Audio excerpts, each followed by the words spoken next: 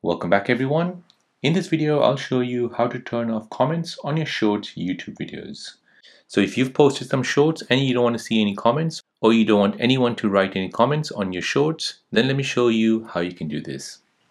So first you want to go ahead and go to your app store, go ahead and search for YouTube and make sure that's been updated to the latest version. Now once that's updated, go ahead and open the app. In the app, you want to go ahead and tap on You at the bottom right. From here, you'll see all your videos. So go ahead and tap on Your Videos on the bottom. Now from here, tap on Shorts. And now this will allow you to see all your shorts. Now from here, you want to go ahead and choose what shorts you want to disable the comments on. So for example, this one here, go ahead and tap on the three dots at the right hand side.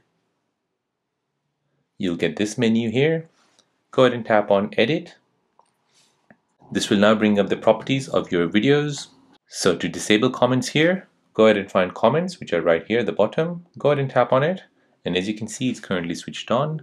So if you want to switch off the comments go ahead and tap on off then go on back and then press save at the top right.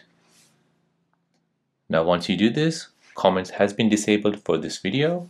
And now you won't receive any comments on that specific video.